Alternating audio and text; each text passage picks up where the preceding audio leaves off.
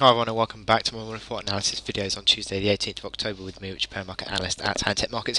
We're going to move on to cable now and we've just recently had out the UK inflation data.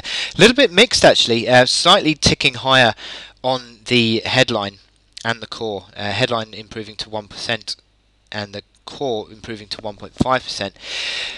But um, the P, uh, the input prices were slightly lower, so it didn't have. Uh, I mean, there's been a slightly sort of mixed response to this data, but you can see on the daily chart there is a an element of sort of consolidation now on this um, on this chart, and um, the candles are sort of a little bit wishy-washy, really, nothing too significant. But look at these hourly chart, this hourly chart where you've broken this downtrend and held on to the support at the same time. The support at uh, 22, sorry, 21.30 held on yesterday, and you've now built from that, and you're sort of building pressure towards the 22, sorry, the resistance at 22.70, which has been in place for a while. A couple of attempts at that resistance, hitting pretty much bang on today and failing, interestingly enough. So 22.70 is clearly a level the market is looking out for. A break above that would open 23.30, which again is a minor near-term resistance.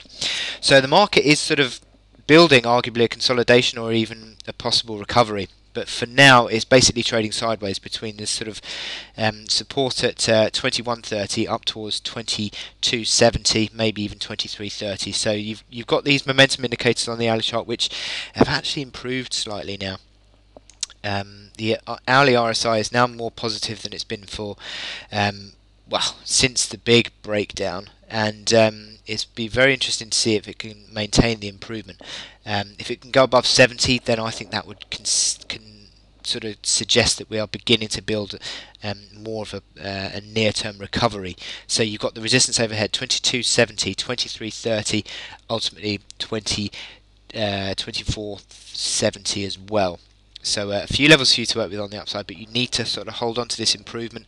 Um, you got the 2230 sorry, 22 yeah, about 22.15 actually, uh, is the sort of reaction low today um, that you probably need to now hold on to to, to continue to put pressure on the upside.